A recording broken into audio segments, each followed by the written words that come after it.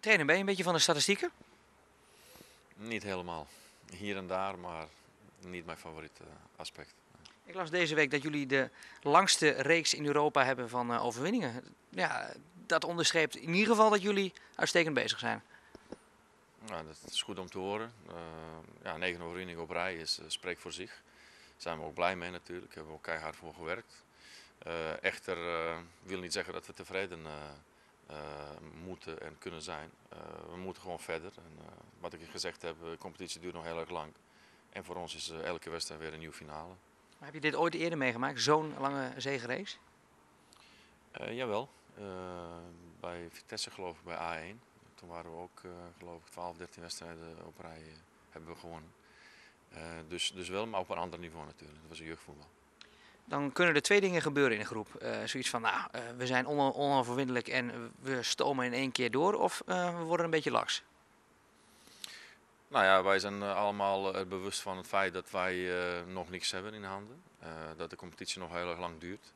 En dat wij keihard moeten blijven knokken en werken voor elke punt. dus wat dat betreft is er geen sprake van laksigheid. ook niet van tevredenheid in die zin van het woord. We moeten gewoon bij de benen op grond blijven en onze dingen blijven doen en moeten doen. die we tot nu toe hebben gedaan. om elke week tot optimaal resultaat te kunnen komen. Alleen dan maken we het verschil. Er is nog niks beslist, eh, zei de trainer zo even. Maar dit weekend wil je wel de ja, definitieve demarrage inzetten? Nou ja, dan, dan, dan moet je wel uh, elke keer willen, vind ik. Uh, zeker als je het programma bekijkt. Nou, dan, dat betekent wel dat uh, concurrenten tegen elkaar spelen. Nou, dan houdt het in dat je zelf je eigen wedstrijden moet gaan winnen en afsluiten. In ieder geval om, om daar nog een meer verschil in te bouwen. Ja, en dan gaan we ook voor. Ja, en zorgen dat je zelf geen lekker band krijgt tegen Eindhoven. Nou, überhaupt. Nou, zeker aanstaande vrijdag niet, maar in geen enkele wedstrijd. Wel een lastige ploeg. Een hele goede ploeg. Uh, ploeg die goed in vorm steekt. Die, geloof ik, na winterstop een prima serie heeft neergezet.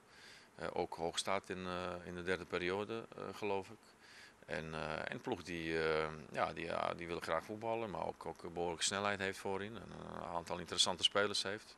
Nou, nogmaals wat ik zei, wij zullen echt 100% moeten zijn in alle onderdelen om daar verschil te kunnen maken.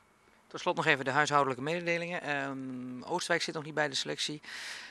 Nacho is er niet bij. Dat is het wel, zo'n beetje. Ja, dat is het. Espinoza komt terug, dus, dus die is, zit erbij. En ja, voorlopig is het zo.